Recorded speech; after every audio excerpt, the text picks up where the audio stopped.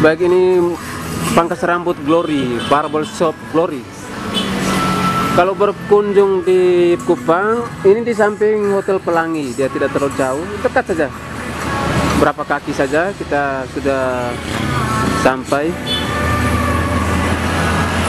di Wali Kota, eh? Di Wali Kota kan? Wali Kota. Baik teman-teman,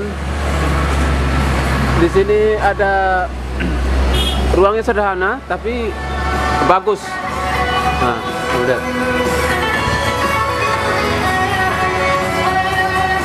Ada speaker dan ini tiap kali radio Trilolog selalu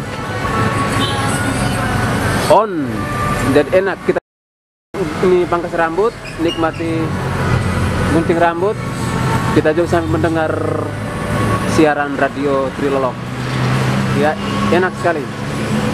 Baik ini saya bersama Ade Galang eh, pemilik Barbershop Glory yang ini. Sudah berapa lama ini bekerja sebagai pangkas rambut pemangkas rambut? Sekitar dua tahun. Sudah dua tahun? Wow sudah dua tahun ya sejauh ini kalau menurut Galang pengunjung satu hari biasanya berapa? Ya kurang kan ini ada keramaian ada sepinya juga. Pasti Iya. sekitar pendapatan satu hari 200 sekitar. Berarti dapat satu dalam satu hari bisa dapat 200 an ya kalau ramai? Ya kalau ramai. kalau ramai. Benar ya paling kurang kalau sepi ya 100 150 ada iya. Tapi itu lumayan kan? Ya daripada tidak ada pemasukan sama Iya, sekali iya. ya? Betul. Benar sekali. Baik teman-teman kalau mau sampai di Kupang di Wali Kota khususnya di samping Hotel Pelangi anda jangan lupa kalau nginap di Hotel Pelangi kalau ingin supaya rambut anda rapi mampirlah di pangkas rambut Glory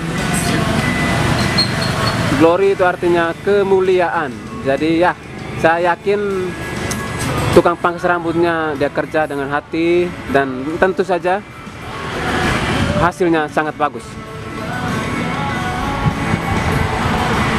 Satu kali pangkas rambut eh, per kepala harganya 15.000 ya. ya, ya. 15.000. Jadi termasuk murah. Kalau di kota Ende itu 20.000 per kepala untuk untuk ukuran orang dewasa. Ya, ya. Kalau di kota Ende 20.000. Anak-anak ada yang 10.000, ada yang 15 anak-anak kalau kota Ende. Jadi saya kira supaya eh, pangkas rambut Glory ini makin hari makin terkenal, paling tidak terus dieksplor.